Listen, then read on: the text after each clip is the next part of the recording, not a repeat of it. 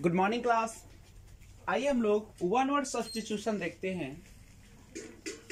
Six number से शुरुआत करेंगे थर्टीन तक आएँगे। क्या? A building where grain is kept और स्टोर समझिएगा?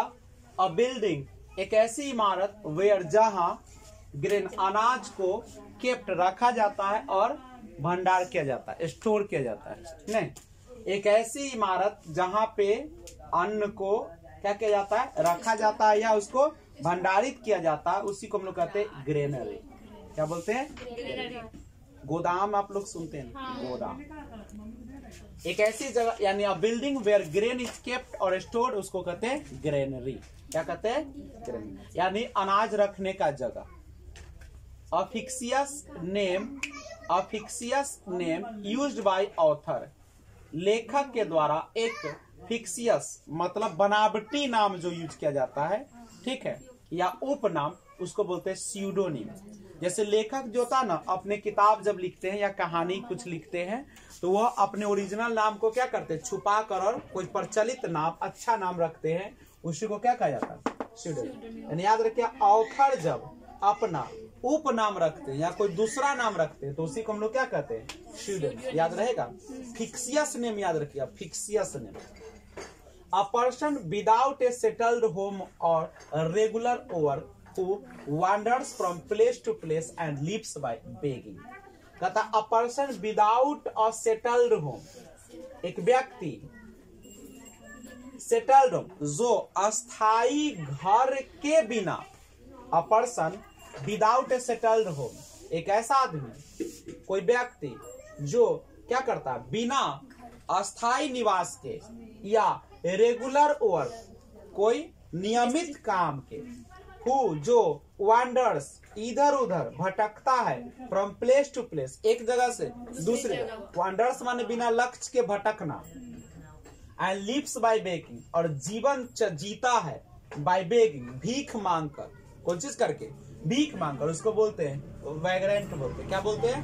वैग्रेंट याद रखिएगा पूछेगा वैग्रेंट क्या है? तो आप बोलेगा कि एक ऐसा आदमी जिसका कोई अस्थाई घर नहीं होता है और जो कोई काम नहीं करता नियमित रूप से और जो इधर उधर बिना लक्ष्य के भटकते रहता है और अपना जीवन को जीता है चलाता है भीख मांग के उसको क्या बोलते हैं? वैग्रेंट बोलते हैं। वैग्रेंट अगला नाइट अ पर्सन एनिमल और plant belonging originally to a place a person कोई व्यक्ति जानवर या पौधा belonging originally to a place किसी स्थान पर ओरिजिनली मतलब ओरिजिनली ओरिजिनली का मतलब क्या होता है ओरिजिनल जिसको बोलते हो।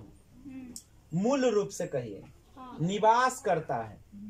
यानी कोई भी पौधा जहाँ से उसकी उत्पत्ति हुई है उस जगह को हम लोग क्या बोलते हैं? नेटिव बोलते हैं जन्मजात बोलते हैं। क्या बोलते हैं? जैसे हम लोग बोलते हैं ना कि मेरा नेटिव विलेज बसंतपुर है चाहे मोहजम्बा है चाहे बौसी है चाहे सैदपुर बहसी है ऐसे ना बोलते हो? चाहे गौराही है तो ये सब क्या हुआ तुम्हारा? ये नेटिव हुआ माने वही पे तुम्हारा जन्म हुआ। तो ए पर्सन एनिमल और plant belonging originally to a place जहाँ से वो ओरिजिनल रूप से मुख्य रूप से क्या कर किया है? निवास करता है। उसी को बोलते हैं native a student who idly और without excuse absent himself, herself from school एक ऐसा विद्यार्थी जो आइडली और विदाउट एक्सक्यूज बिना पूछे हुए, ठीक है? या बिना क्या करता है? एक्सक्यूज माफ़ी मांगे हुए, या बिना अनुमति लिए हुए अब्सेंट अपने आप को क्या करता है? अनुपस्थित हो जाता है। खुद कहा से? फ्रॉम स्कूल से। उसी को हम लोग क्या कहते हैं? टूरियंट बोलते हैं। टूरियंट ठीक है? यानी एक ऐसा विद्यार्थी जो बिना पूछे हुए, बिना अनुमति के, बिना माफ़ी के, वह खुद को स्कूल से क्या कर लेता है? अनुपस्थित कर लेता है। उसी को हम लोग क्या कहते हैं? स्टूडेंट बोलते हैं। अ पर्सन एनिमल और plant much below the usual height a person कोई व्यक्ति जानवर, पौधा मच बिलो ज़्यादा क्या होता है? नीचे होता है। द यूजुअल हाइट जो सामान्य हाइट होता है, ऊंचाई होता है, उसी को ड्वार्फ जैसे मनुष्य कम से कम एक नॉर्मल हाइट होता है पाँच फीट पाँच फीट के बाद जितना हो जाए तो पाँच फीट तक आदमी है तो नॉर्मल है। अब पाँच चार फीट का हो गया तो उसको हम लोग भौना कहते हैं। मनुष्य का हाइट नॉर्मली कितना से शुरू होता है? पाँच पाँच फीट। का नॉर्मली होता ही है आदमी। ना साढ़े चार पाँच फीट का होता ही है। लेकिन अगर उससे नीचे आ जाए ठीक है चार से के नीचे आ जाए चार से ऊपर चलेगा सब क्या? चार पॉइंट समथिंग रहे चार पॉइंट पाँच रहे ना? लेकिन चार से जैसे नीचे आ जाएगा तो नॉर्मल हो गया तो नॉर्मल हाइट से नीचे आ गए तो उसको हम लोग क्या कहते हैं? ड्वार्फ बौना कहते हैं। अ पर्सन एनिमल और plant much below the usual height सामान्य ऊंचाई से नीचे हो जाना ड्वार्फ अ ट्रेड एक व्यापार that is prohibited by law एक कोई व्यापार जो प्रोहिबिटेड मनाही है, कानून के द्वारा, कि नहीं कर सकते जैसे अपने बिहार में शराब का व्यापार करना रोक है? नहीं, खैनी का व्यापार करना ज़्यादा, उतना तो रोक नहीं है, लेकिन इलीगल भी नहीं है ना। अच्छा खैनी का है अलाउ। लेकिन गजा का। गजा का तो पेड़ नहीं रोप सकते वो जो होता है भाँग का पेड़। भाँग का खेती करना है क्या? नहीं। आप नहीं लगा सकते।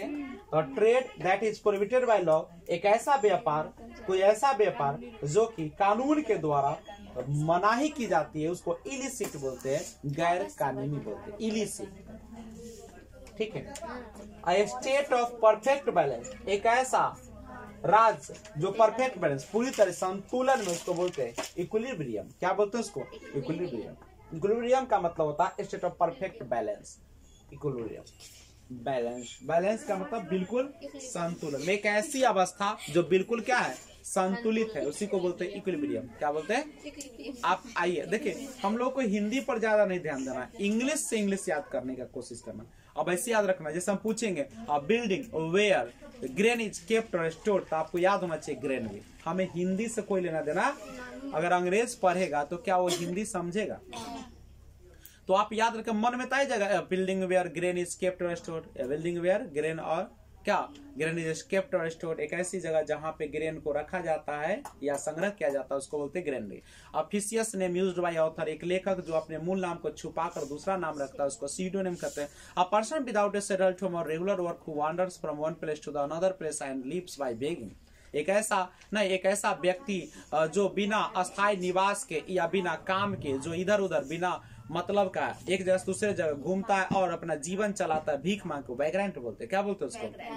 अ पर्सन एनिमल और plant belonging originally to a place एक कोई व्यक्ति जानवर प्लांट पौधा जो कि ओरिजिनली मुख्य रूप से किसी जगह से बिलोंग करता है निवास करता है। नहीं तो उसको नेटिव बोलते हैं स्टूडेंट हु आइडली और without excuse absent from himself और हरसेल्फ फ्रॉम स्कूल कोई विद्यार्थी जो बिना सूचना के, बिना सूचना के क्या करता है स्कूल से अनुपस्थित हो जाता है, उसको स्टूडेंट बोलते हैं। अ पर्सन एनिमल और plant much below the usual height एक ऐसा व्यक्ति या कोई व्यक्ति या जानवर या पौधा जो कि सामान्य ऊंचाई से नीचे होता है बिलो होता है उसको ड्वार्फ कहते हैं। Trade that is prohibited by law नहीं। एक ऐसा कोई व्यापार जो आपका मनाही होता है कानून के द्वारा उसको बोलते हैं इलिसिट गैर कानूनी बोलते हैं स्टेट ऑफ़ परफेक्ट बैलेंस एक ऐसी अवस्था जिसमें पूर्णता अ, जो संतुलन की अवस्था में होता है उसको क्या बोलते हैं? इक्विलिब्रियम बार बार पढ़ेगा मज़ा आएगा इंग्लिश मज़ेदार सब्जेक्ट है इंटरेस्टिंग सब्जेक्ट है, अब मज़ा आता है, इतना आसान कोई नहीं है कुछ नहीं है। लेकिन बा घरे रिवाइज खोजता है, ऐसी पढ़ेगा एकदम सुर लगाइए, और building name by author pseudonym खूब पढ़िए खूब पढ़िए खूब पढ़िए, मज़ा आ जाएगा। एक बार जब इंग्लिश का नशा चढ़ेगा ना, कभी उतरेगा नहीं। ये बिना शराब का नशा है। जो लग जाती है लत ना, मज़ा आता है, मज़ा, जय हिंद।